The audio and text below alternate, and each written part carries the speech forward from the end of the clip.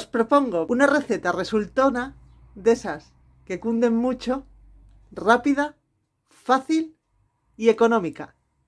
Hola y bienvenidos a Beatriz Cocina Sencilla de Diario. Recordad que estaré encantada de atender cualquier duda que me dejéis en comentarios. Y es que, con bien poco, seis buenas raciones de macarrones con atún.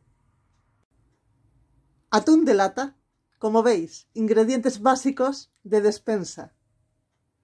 Os digo rápidamente los ingredientes principales. Medio kilo de macarrones, 550 gramos de salsa de tomate estilo casero, es más concentrada que el tomate frito, y tres latas de atún al natural que os recomiendo además comprar siempre así.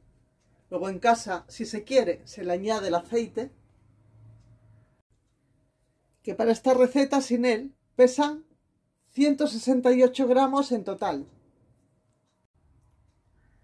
Para el sofrito, solo una cebolla. Para el acabado, voy a fundir esta mezcla de cuatro quesos rallados, emmental, gouda, cheddar y queso curado.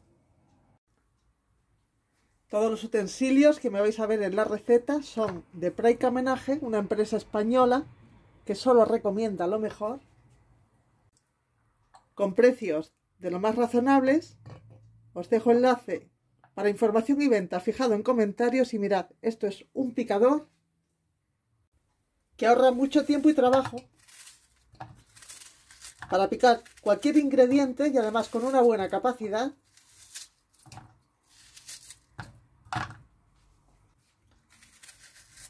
Además sin cables, sin enchufes, manualmente. Y es que es tan sencillo como dejar los ingredientes ligeramente troceados, cerrar.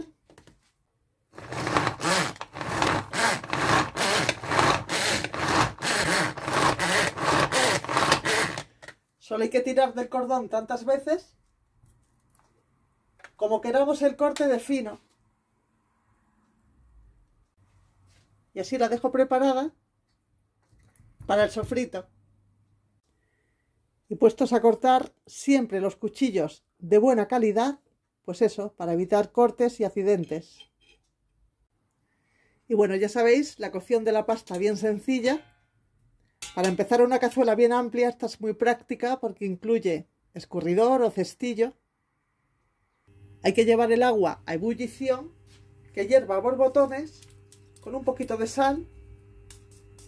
No pongáis aceite ni grasas porque en tan poco tiempo no la va a absorber. Y mirad, mientras se calienta el agua, a ver si lo podéis apreciar. A mí este tipo de macarrones me gusta mucho porque van rayados y me parece que absorben mejor la salsa y todos los sabores. Como la base de la cazuela es tipo sándwich, que se le dice, con varias capas de hierro, obedece estupendamente a la inducción de manera que enseguida comienza a cocer fuerte y es cuando sumerjo el cestillo con la pasta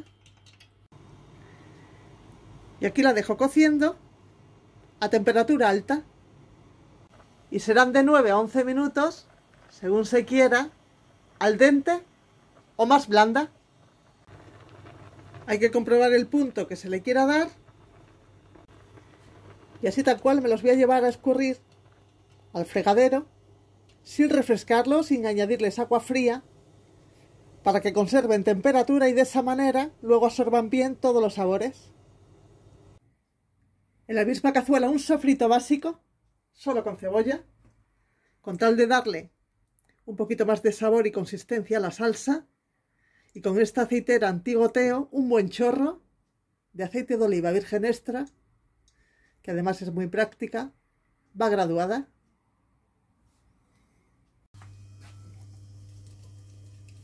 Utensilios de silicona de muy buena calidad que soportan temperaturas muy altas para no arañar la cazuela.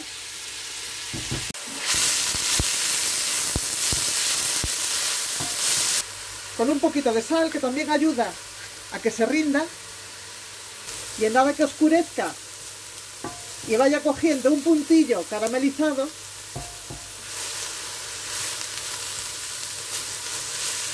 bajo la temperatura y añado ya la salsa de tomate.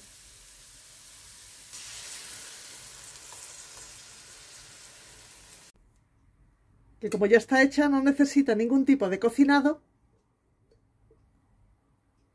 Solo mezclarla bien con el atún y la cebolla. El atún escurrido y desmenuzado, como veis.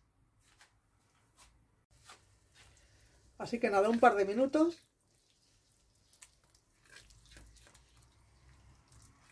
Aquí cociendo suavemente. Y ya mientras se acaba la receta, quiero mostraros la diferencia entre usar utensilios de calidad y otros malos, como esta paleta, ¿veis?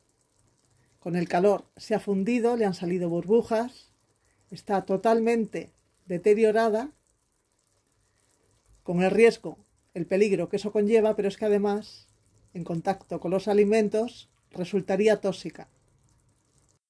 Así que más vale confiar en profesionales como los de Praika, que nos recomiendan lo mejor, y ahora con descuentos y promociones de lo más interesantes. Por último, un toquecillo de orégano, que le va muy bien, y emplatando.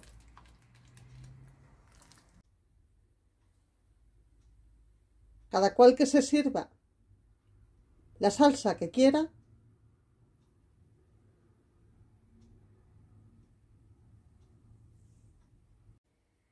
Y el queso rallado, gratinado o así, fundido unos segundos en el microondas, como se prefiera.